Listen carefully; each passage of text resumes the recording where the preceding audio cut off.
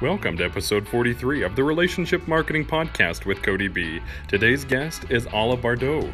Alla has been a successful business entrepreneur the last seven years. She has consistently been one of the top sales reps for new customer acquisition in Neora, formerly Nerium International, a multi billion dollar company. Through her Sell Yourself for Success training platform, Alla has a unique ability to connect with sales professionals across various industries and help them accelerate sales by providing the tools and strategies for increased selling. Alla is also involved with the Nancy Lieberman Charities. Her work and passion for philanthropy is changing the lives of young people. And now, Kody B. Hey everybody, this is Kody B. Welcome to our relationship marketing podcast. Super excited for the show today and uh, super excited for every single week. You know, we're really blessed. We're really blessed at this podcast to have so many incredible people come on and share their wisdom with us. Uh, we have a special one today. Um, Alla Bardov, how you doing? I'm doing wonderful, wonderful. Thank you for having me today, Kody. I'm well, I'll tell you, we're you. we're excited. You know, we we uh, our our viewer or our listeners have been introduced to you. We have a voiceover up front that kind of shares your background a little bit, so they they've already been introduced to who you are and a little bit about your background. It's always interesting to have people on that uh, have created an incredible professional careers, professional sales careers, and then gone on to train others how to be successful in sales. And on top of that, to have been born and raised in another country and come to this country and have to learn language and culture and everything else and do all those other things. And that's who we have today with you. We're excited to learn from you today. So, selling or sell yourself for success. Sell yourself for success.com is your company. We talked a little bit in the pre-show and uh, we're just going to kind of jump right in. You, you, were explaining to me that sell sell yourself for success.com uh, tell us a little bit about how that started how long you've been in business with that particular entity and uh, just give us a little of that background. Well sell yourself for success um, actually been in the business for about two and a half years and what I do with it, it offers entrepreneurs and outside sales professionals. I, I offer training. I provide them with the skills that they can actually go out and improve improve um, how they attract clients, improve their sales, and also it builds their self confidence.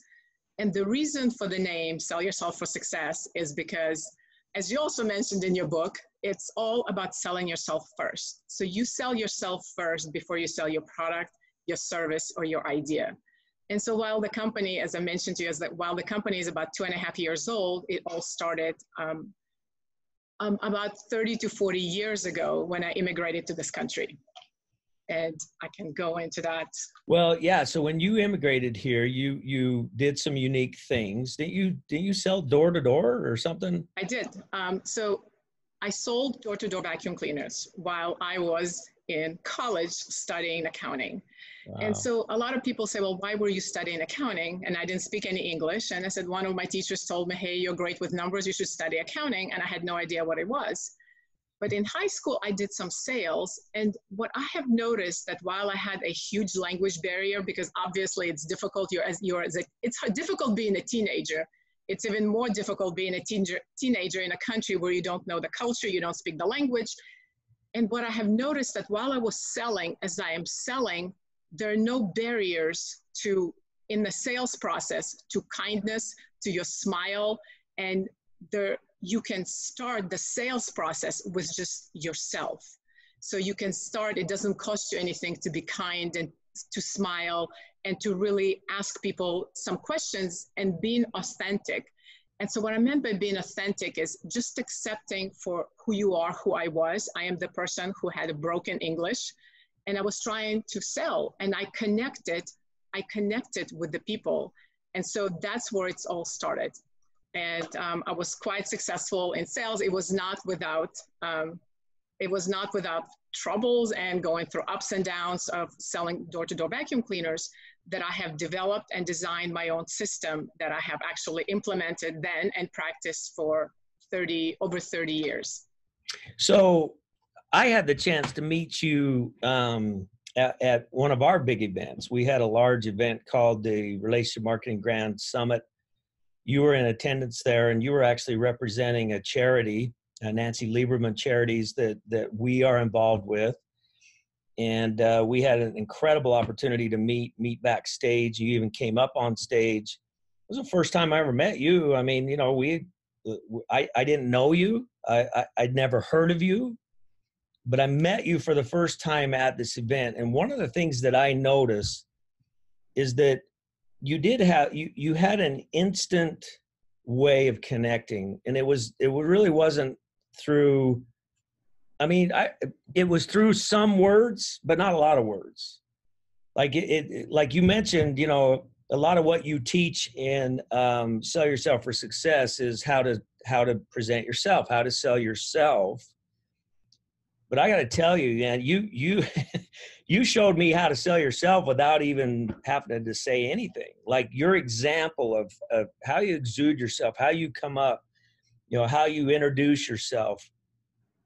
I mean, I, I just look at that. When I saw you come, I was like, well, you're just naturally gifted at that. You're just naturally gifted, naturally talented in your ability to to have instant charisma and instant dialogue with people. Is that true? Is it is it a gift or is it something you can teach? You know, it is absolutely it is absolutely something that it can be learned and practiced. So when people think, you know, I have some people have presence or the people have charisma or people have confidence, it is not something you're born with. Uh, yes, you maybe there's a certain aspect, but it is something that you can absolutely learn and practice. And so what I teach in my workshops, because this is, it's my, my system is four P's, and the first P is presence. So how do you gain presence and how do you gain conf- confidence? And that's what I teach people. And it all starts with you. So there are some things that you can immediately do, and then some things will take you years to become that person that exudes confidence and that people are attracted to you know what I tell people? I said, you know, just think of a person. There's always that person. You walk into the room, and if you close your eyes, you can feel them no matter where you are. So there's something about them. It's the energy, it's the presence. And it's not the way you're dressed, it's not how you look, but there's something within you. And so that's what I teach in my workshops. So that's, um, I probably spend good 30 to 40% of my signature workshop on presence and how do you achieve that presence. And okay, I so, give people actionable items that they can do, steps. So the first one's presence. T- tell us what the four P's are. So the four P's are presence, people, product, and persuasion. And those are the four, the four P's that really helped me to become the top door-to-door salesperson. And like I said, it was not without trials, it was not without difficulties uh, when I was selling door-to-door vacuum cleaners. And the reason I did not quit, I just couldn't have my family and my friends say, I told you so because I was in college, I was studying accounting, I had two accounting jobs, and here I am doing door to door sales. But doing that provided that connection, connection to people. And I absolutely love, love that. So, so one of the things I noticed again in our first interaction, and I'm assuming, correct me if I'm wrong with your training, but I'm assuming that what I'm going to share right now has to still has to do with presence. You know, you know how you create presence when I first met you, there was instant rapport. There was instant um, interest, dialogue. Uh, I was intrigued uh, just by just by your countenance. Um, but here's here's what got me the most. All of those things made me want to talk to you. But what really pulled me in was the fact that that you came across as this amazingly polished, uh, incredible person that was successful, has lots to offer, but you you had a way where you instantly made everything about me. Like it was it was almost instant. Like you came across like you were this all put together person, but you instantly kind of turned it back to where all of the focus was on me and you you had a humble presence about you so a lot of polished salespeople eh, they they have a presence but i wouldn't put the word humble in front of it. you know, there's a lot of people that they, they don't have a humble presence. They have a presence. A lot of salespeople are large and in charge presence. You had a humble presence. Like you were very humble and you were very genuine in your desire to serve me. And that was in the first two and a half minutes of talking to you. So is that part of the presence thing?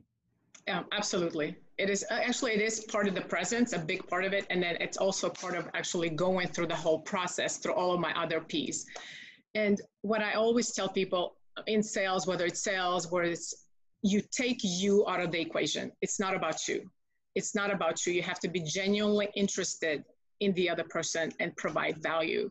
And you know what I also say, life is about creating value.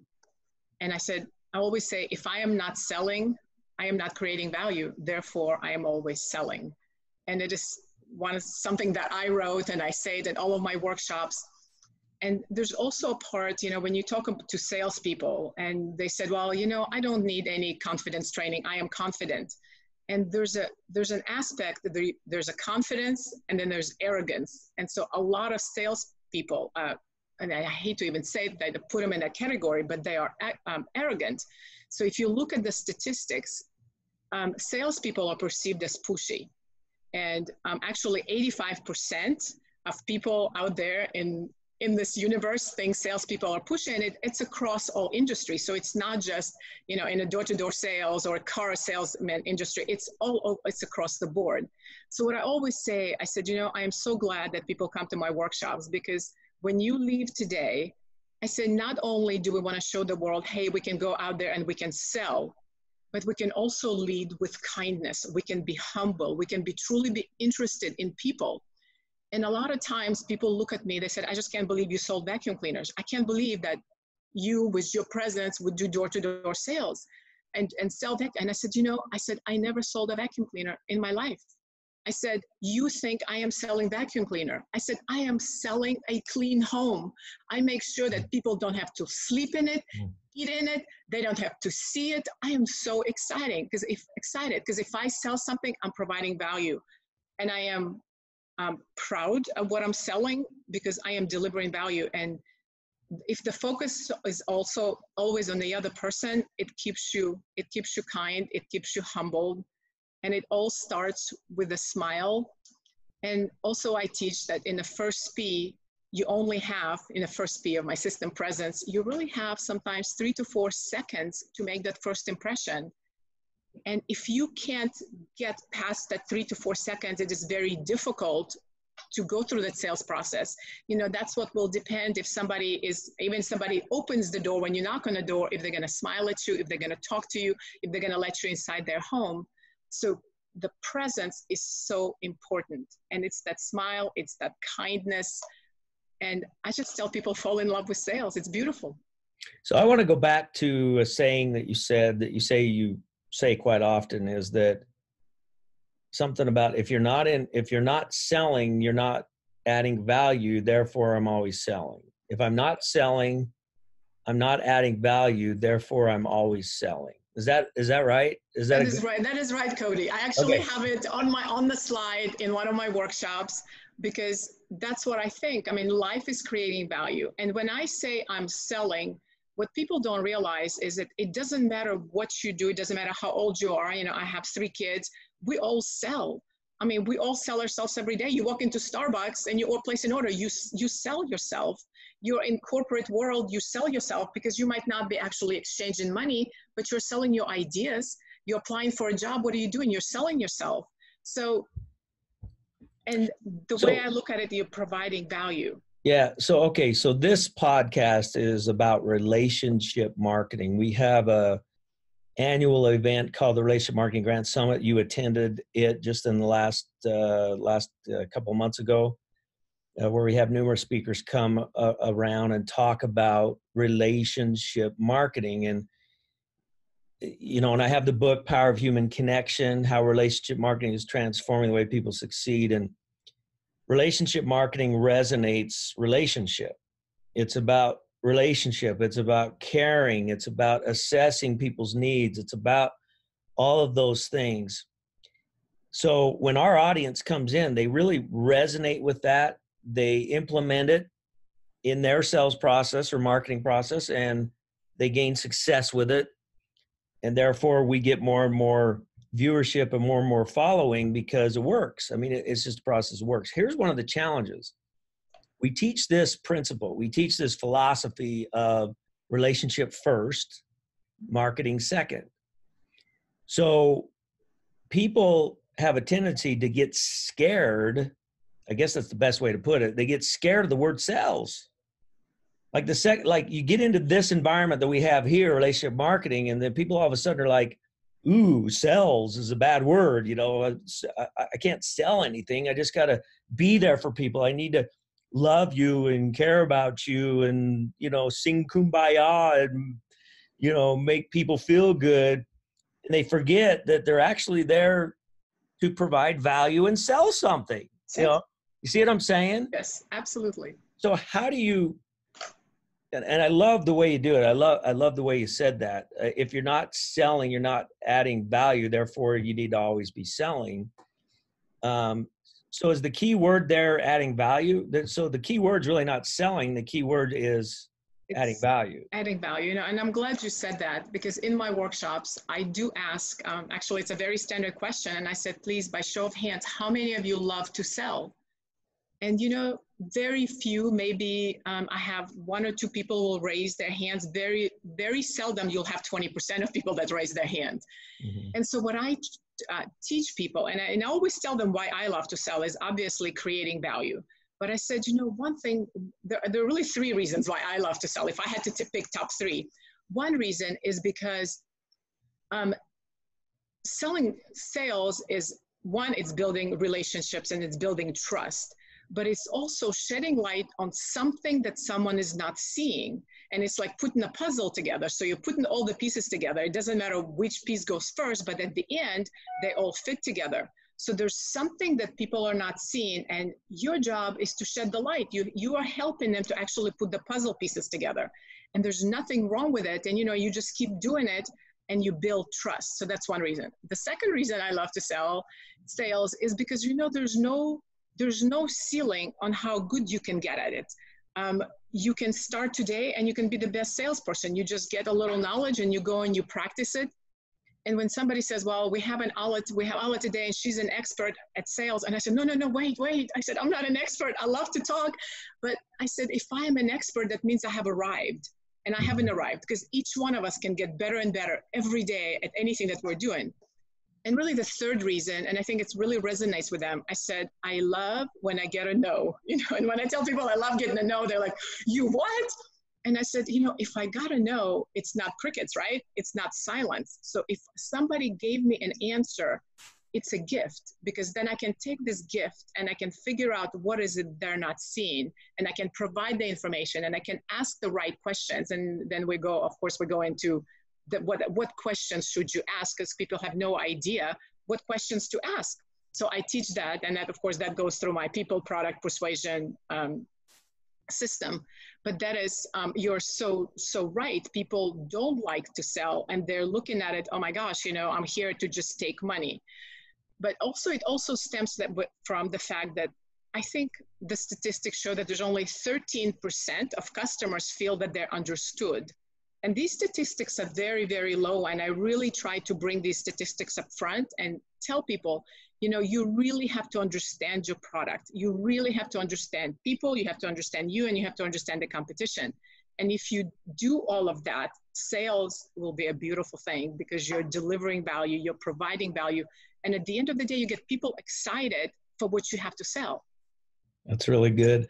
So you have, uh, by the way, I really like your website. The again, the web website is sellyourselfforsuccess.com. I want to come back to your website design in just a minute.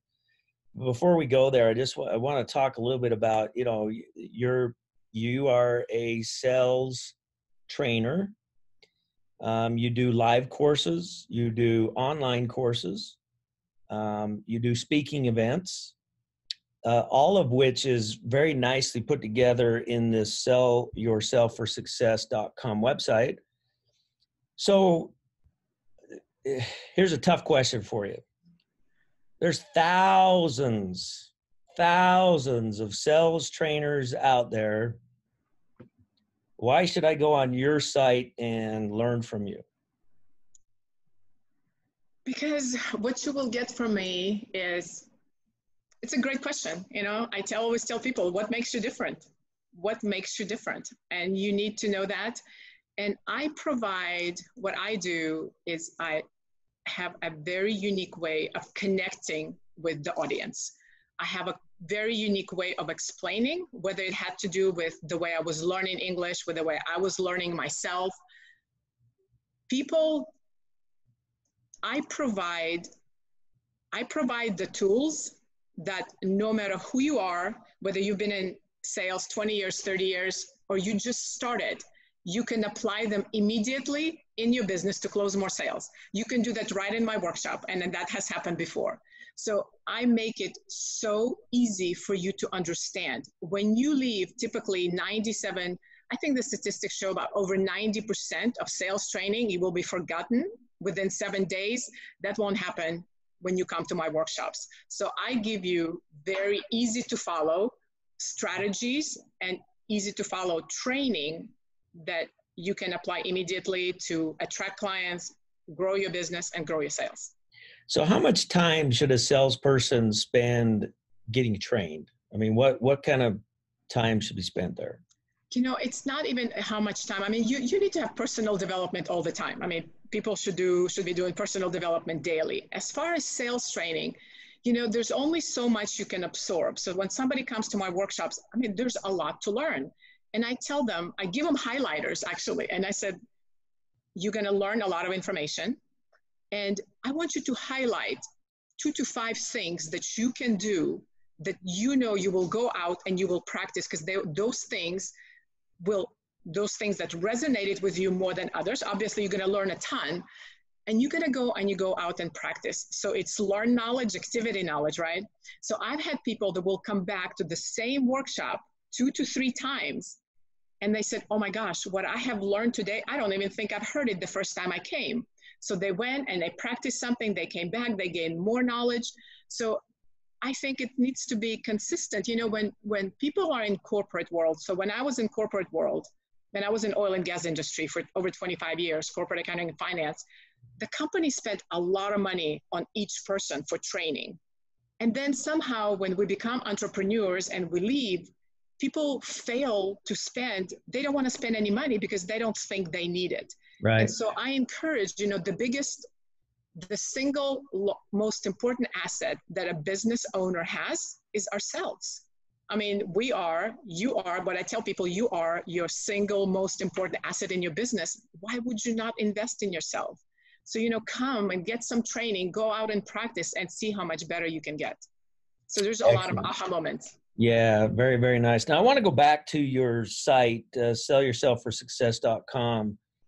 Did, did you design that website? Did you have a team do that? How did that come together? Um, I had a lot of ideas, and um, um, lucky for me that I have my other half is um, my husband that I've been married to for 30 years. He um, he has um, he does he does web design as well. So, okay. but it was my ideas. You know, it's the most difficult thing is to know exactly what you want on it, where you want it, in what spot, in what place. And so I design all of that. I am very visual. And so when people land on my website, I want everything to be in front of them so that they know exactly who I am, what they're getting with me. There's no questions, there's no pretenses. They can see immediately testimonials from people that attended my workshops but it was really my design, the way I saw it, and how I wanted to be viewed when somebody lands on my website that has never had any dealings with me. And, and it's very important that on right on my homepage that they can see um, my association with the charities because mm-hmm. life is about giving back and giving back makes you such a bigger person it's not always about us and our business it's what we do for others and we lead with love and kindness and and I can honestly say that every morning when I wake up, my I am statement always starts with I am I am here that I can help some kid, you know, improve their life. And so my mm-hmm. mind immediately shifts to not on what's going on here or you know the negative things and you know we live in a negative world but how can i help someone? And so i start my day literally who can i call? What can i do today to help to help a kid.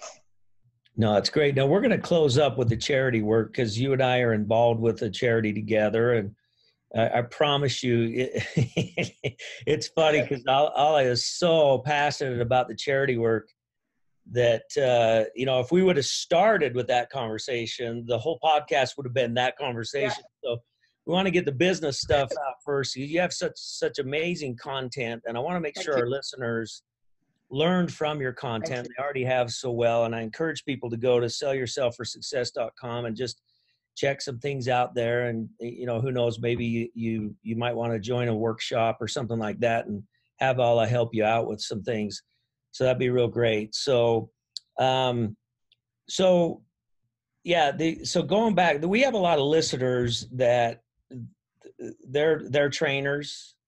Um, they you know want to create a presence online. They want to create a presence in social media. Um, so I want to steer this questioning this, this this questioning right now more towards that group of people I love how you've set up your website, how informative and simple it is.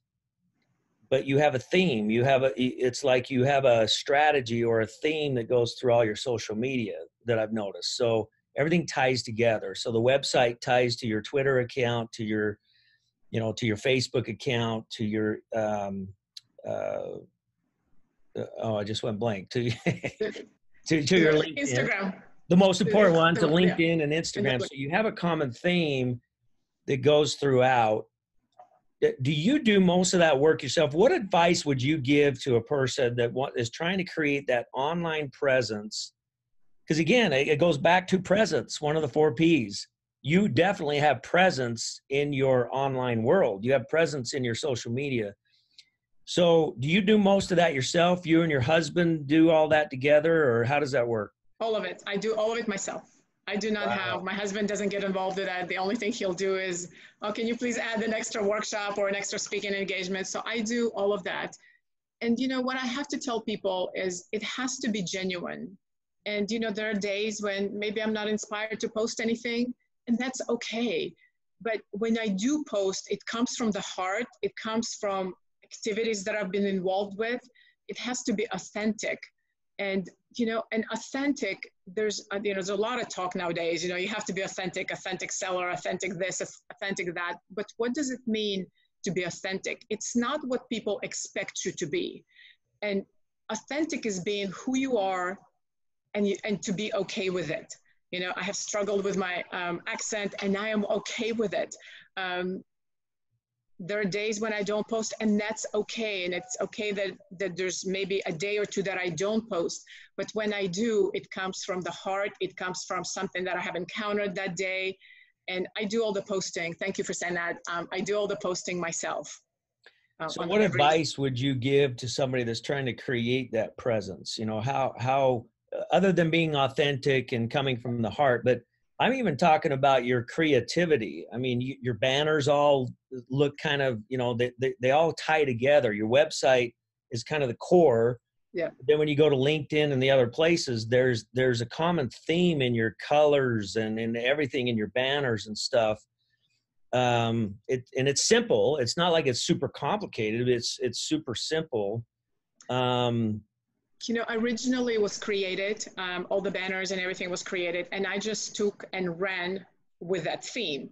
So as far as the colors, there were, um, the reason there's a red color is because apparently, which what I've learned that every industry has a color and sales is red. Mm-hmm. And so um, that's that's that. And then um, as far as gold color, when I first got this idea, a, a beautiful mentor said, um, gold that's your gold system. You know when i was just trying to figure out um, you know and i think i mentioned to you nancy is actually my mentor and i went to nancy and i said you know this is what i'm thinking. I really think i'm going to start this company because i have so much to offer.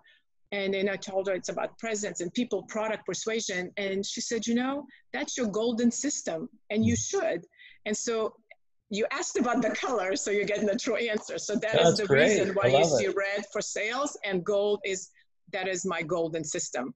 Um, originally it was actually green, and I was thinking, well, green's money, but you know, money always money. If you're doing something just because you want to get to make money, I think that's what makes salespeople pushy. Right. And so I love the fact that it's a golden system, and this is my golden system, and I teach people my golden system in sales. And so I took that original theme, and so I kind of tried to stay with that theme with the same banners and with the same colors. But that's where wow. that's where it came from. You asked. Very very cool. No, that, no, that's that's really cool. Now I want to back up for a second. Something you said that you struggled with your accent, and and this I think this is a real important discussion to have um, you struggled for a lot of years with your accent and i would propose to you and i'm sure you've heard it from many other people that your accent is actually one of your biggest assets. Do you do you find that that's the case? Is that, have other people told you that? Uh, people just say oh i love your accent. But i think you know and, and i think it's great.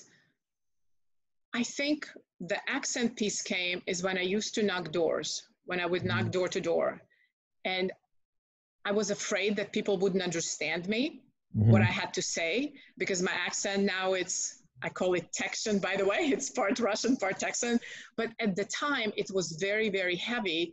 And possibly the word embarrassed, maybe, or people wouldn't understand me. And so the smile and the kindness was let I started with smile and a kindness before I would start speaking because I knew that once I start speaking, my accent, I was afraid that I would not get through the door because of the accent. Either people wouldn't understand or for whatever reason. So I did struggle during sales time when I was doing originally when I started to sell, you know, people would be maybe turned off by the accent. And a lot of it had to do with presence and the smile, and there are no barriers to smile and a kindness probably originated from not being able to speak you know properly speak proper english or you know the a's and the d's was something you struggle with when you're just learning the english and you don't pronounce word correctly. And so that's kind of where that started. Yeah. So i i bring that up for a reason because i think a lot of times the things that make us different are the very things that are are our biggest become or can become with the right attitude can become right. our biggest asset. You know and your accent's a perfect example of that. I would venture to say that if if you knocked on my door and you did the smile and everything else and you began to speak with that accent the accent's actually what would draw me in because the accent makes you different than any other person that knocked on my door so, and now I want to attribute that to people who are listening right now. You, every one of us have some kind of uniqueness, and it may come across initially like it's a negative. And I would venture to say that whatever makes you different or unique, even if it appears on the surface to be a weakness, actually becomes your biggest asset because it makes you different. Here, let me give an example um, it, just follow uh, follow music people, follow people in the music industry, and there's a lot of, of of people that are coming up that have very unique sounds, unique voices. You know, let's take uh, oh I, I oh who's the the famous singer um, I, I want to say Alla, but that's you. um, anyway, I can't think of her name right now. It, does, it doesn't matter. But the, the, the, the point is, is that in order for people to be successful in the music industry today, they have to have a unique sound. You cannot be a Me Too person in the music industry. It's just there's just too too much, too many, too whatever. You never want to be a Me Too. You know, a lot of people they they try to they try to change what's unique about them so they can be like the successful mentor is or the you know, so and so is successful and they talk like this, so I need to talk like that. Well, no, you don't. You need to talk the way you talk. You need you need to be you. You need to be you and all of your uniqueness, and and I think your accent is is part of that. And uh, so so I think that's real powerful message for all of us to to hear and to learn. Uh, I like to do rap music. Looks like rap. You know, and, and some people like that, some people don't. I don't really care because I like to do it, so I just do it. You know. so, but I think that that's ultimately that's what draws people to you, and you know, at the end of the day, and, and that's another thing that, that I've that I've learned, and I learned from people like you is that you know there's going to be people in this world that just resonate with you and that those are the people that you want to go after. There's going to be people that don't resonate with you.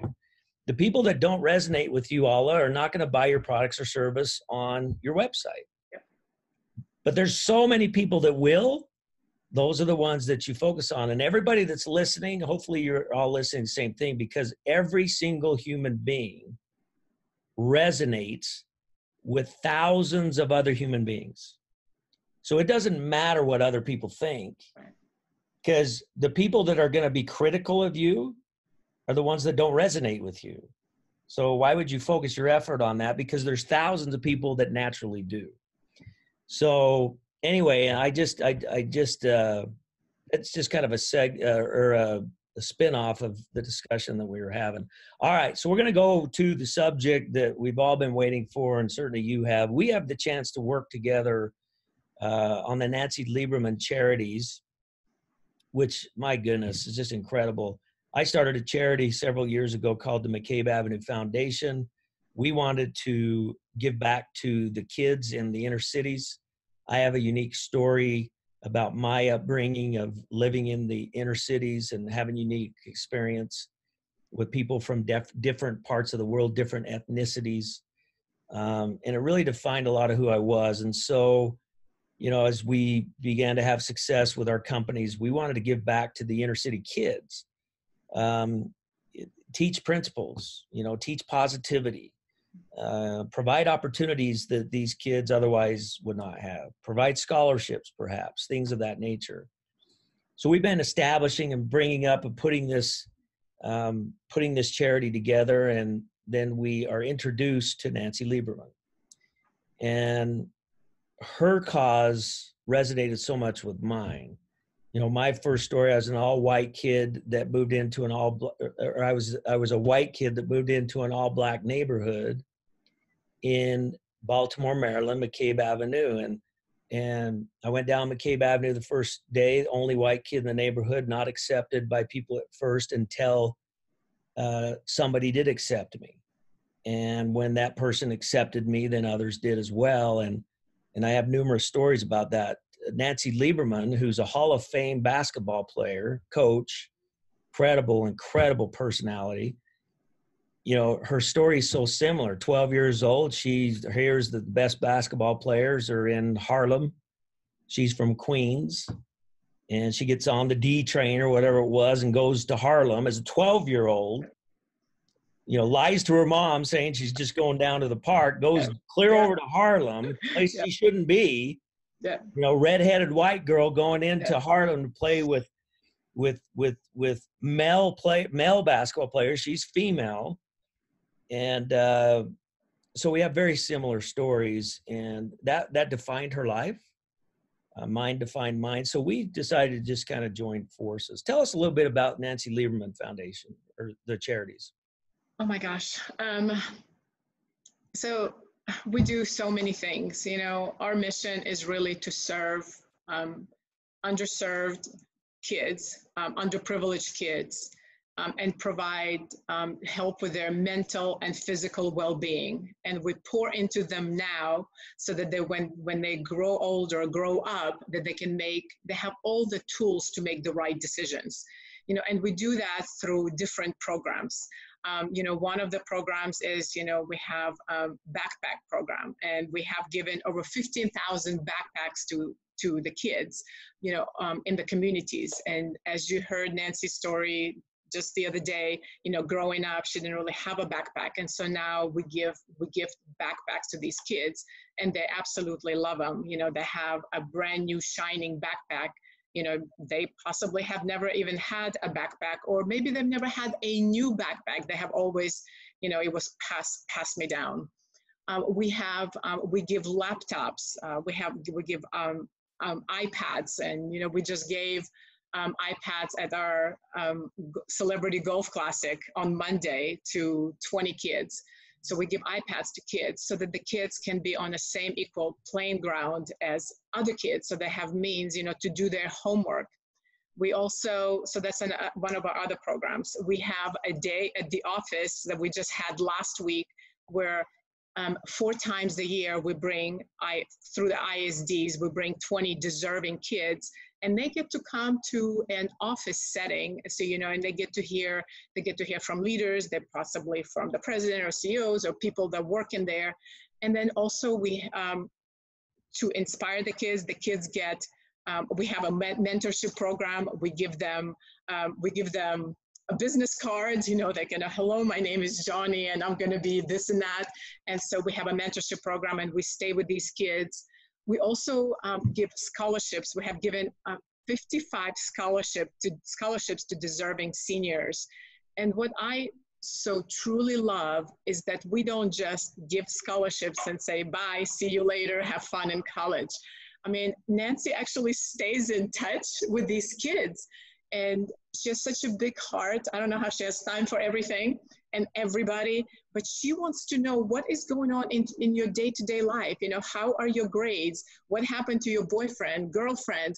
Um, so we help them get internships while they're in college and then as they graduate as well. And we stay in touch with these kids. And then, of course, we have our dream courts. We have opened over 84 dream courts throughout the country. And dream courts are, um, are uh, play spaces, basketball play spaces, we have over 3.7 million kids a year that utilize these spaces. So they're actually playing basketball, they're doing something productive, it's good for their mental well-being, it's good for their health, they're not on the street doing drugs, so they're, they're playing sports. We're also partnered with the local police departments where, and you know, these programs, we're partnered with police departments to build, it's a bridge, we're, we're building um, it's a, a bridge between the communities that we serve and the police departments. So um, we have even given give basketballs to the uh, police cruisers to keep they, they keep in, in their trunk. So if they see kids playing if they see kids on the basketball court on one of our dream courts and they don't have a basketball so that they give them a basketball to play and they will come and play with them as well. So we have just incredible programs and you know we're all impacting the lives of the kids.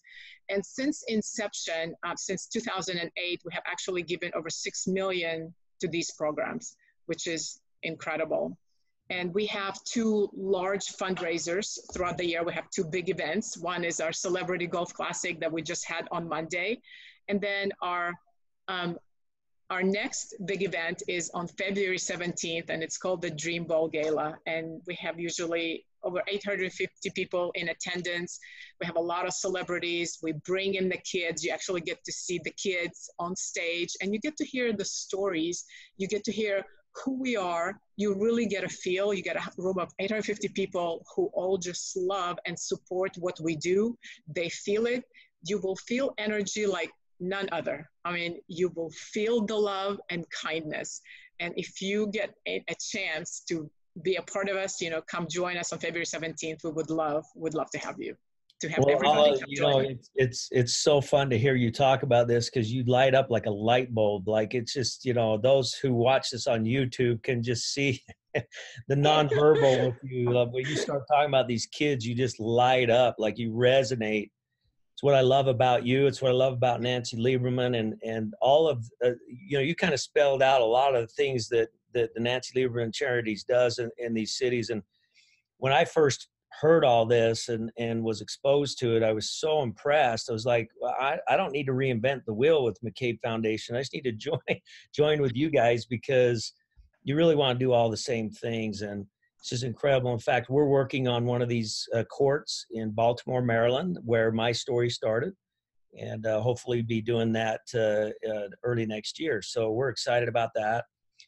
Well, listen, it's been an honor, an absolute honor to have you on here. Um, we we appreciate all that you do.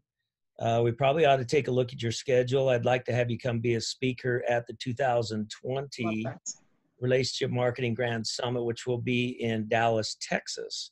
So I'll have our people get with you and we'll see if we can set that up because I think it would it would be wonderful to have you come and and teach people those four P's the way you do it. So appreciate thank, so much you being with us today. Thank you, Kody. Thank you. Uh, thank you for having me. It's it's a pleasure and it's an honor and it's a privilege to be on your podcast and to partner with you guys. And um, thank you. We're just honored and humbled and looking forward to an incredible journey. So there you have it, everybody. Alla Bardov, uh, Alla Bardov. She is with the uh, sellyourself4success.com. Please go on that website, check it out. She's even got an ebook on there that you can click and uh, watch or, or, read the ebook. Uh, I haven't had a chance to read the ebook yet, but I'm I'm anxious to do so. And uh, it's just an honor to have you with us. And thanks everybody for listening in. Make sure you tune in, uh, share this with other people, and make sure you tune in every single week because we always have uh, incredible guests on with us. Take care, everybody. We'll see. Thank you. you. Bye bye. Thank you. If you have enjoyed this episode of the Relationship Marketing Podcast with Kody B, be sure to subscribe to the show and leave a review so that together we can get this message, The Power of Human Connection, out to the world. You can find Kody's new book, The Power of Human Connection, on Amazon or the Send Out Cards gift store.